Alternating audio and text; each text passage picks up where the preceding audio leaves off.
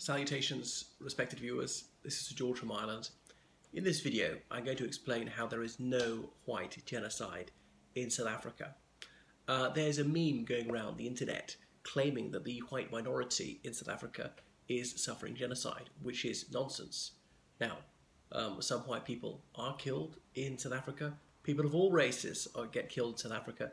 Uh, yes, murder is a crime that takes place in South Africa as it does in every other country. And it's true that South Africa's got a relatively high murder rate, um, about 18,000 murders last year, if I got that right. Um, so it's, it's high, a high per capita murder rate as well.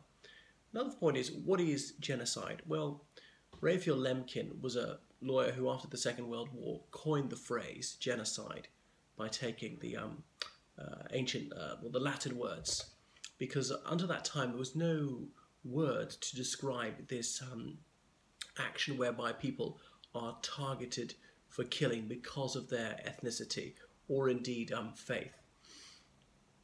Uh, so it is not a phrase to be bandied about lightly, and genocide has definitely happened on many occasions in history when uh, there's an attempt to physically destroy an ethnic group by killing them, not necessarily all of them, even a significant number of them, or indeed separating men from women or things like that.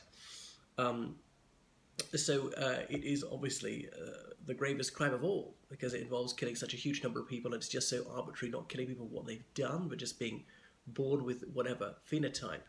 So um, it is a uh, truly barbaric crime and so this is not an accusation that people should make uh, so easily.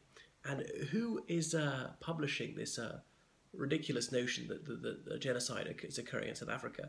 It's, um, these various uh, race baiters like Katie Hopkins and uh, Tucker Carlson, those who like to stoke white hostility towards other ethnic groups, they're de- demagogues, uh, they are willfully ignorant, and they both shut their minds to evidence and they promote uh, irrationalism.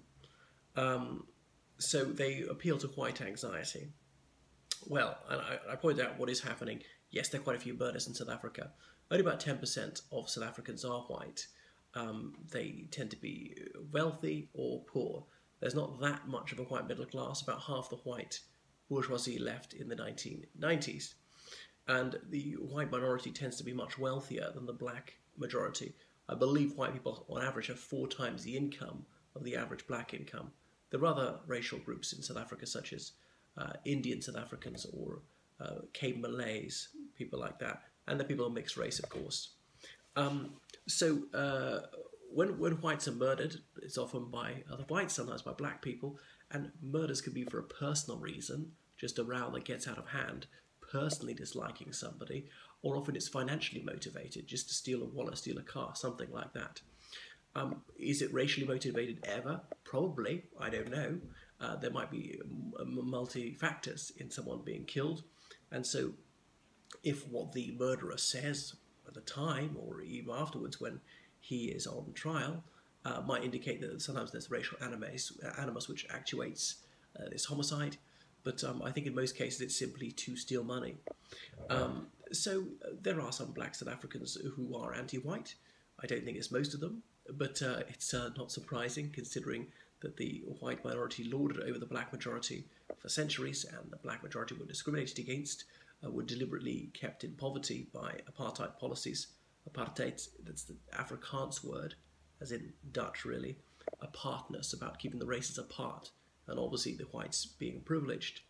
So um, the uh, apartheid government in South Africa until 1994 used large scale violence against the black minority as they campaigned for equality. Um, and so, uh, understandably, there's a lot of rancor about that, and a few black people say they did it to us, we'd like to pay them back in the same coin, give whites a taste of their own medicine. But anyway, there's a lot of magnanimity. Nelson Mandela led the way on this. There has been a reconciliation. Um, so Julius Malema leads the Economic Freedom Fighters Party. Despite what Tucker Carlson says, Malema's party uh, is, is quite small. It's not a serious threat to the ANC government even though Malema's got a high media profile. Even Malema said we don't want to kill whites at the moment. Obviously, those were chilling words at the end, at the moment. And um, some anti apartheid activists used to chant one settler, one bullet, or people used to say, kill the farmer. Now, this could uh, just be mirthful. I know this is humour and questionable taste because this sort of thing actually happens. Um, so, th- those who are really sounding the alarm bell about whites supposedly being wiped out in South Africa are often those who are not remotely concerned when whites are racist uh, and uh, often uh, promote racist tropes themselves.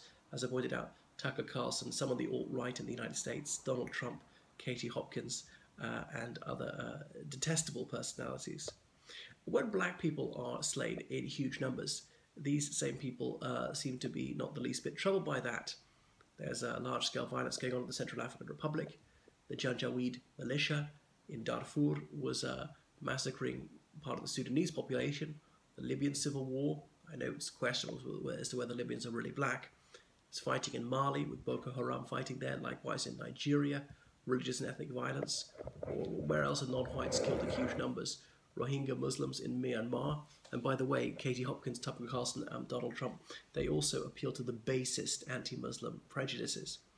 Um, fighting in South Sudan, anywhere else where non whites are killed in, in uh, enormous numbers, these sort of demagogues are not the least bit worried about that. So, and uh, Katie Hopkins was saying, oh, blacks are killing whites now.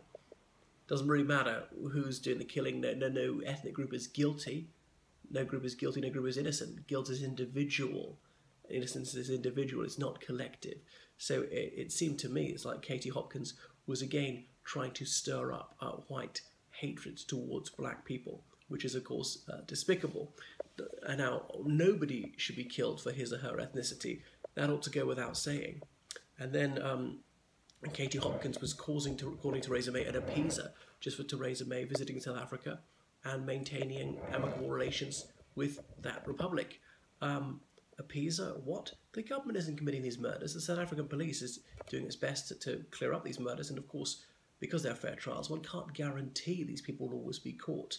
There are unsolved murders in the United Kingdom and every other country. So um, it really is nauseating that um, some of these shock jocks should try to capitalize on these personal tragedies to uh, um, heighten racial tension around the world. Another thing is there are farm expropriations going on in South Africa, which is a separate issue. The government says it will confiscate uh, land from white farms without without uh, compensation. It's something I completely disagree with. But anyway, it's not linked to um, um, criminals carrying out murders, which are usually just for financial gain. It's a governmental policy. They've declared that they were going to do this decades ago. They're only doing it now slowly. Um, it's completely legal. It doesn't involve the least bit of violence that is a separate thing. You might agree with it, you might disagree with it, but uh, people should please stop promoting this specious notion that the white minority in South Africa is suffering genocide. How many whites are murdered in South Africa each year? It's not a huge number, it's scores. I would wish that nobody was, would be murdered at all, but in every country, murder does occur. So there has been the most lurid rhetoric around this. Um, the figures have been hugely uh, inflated in the wilder reaches of the alt right uh, internet. So uh, don't believe this nonsense you're hearing from those who want to uh, promote hatred against uh, non white people. And well, let's all have uh, racial fraternity.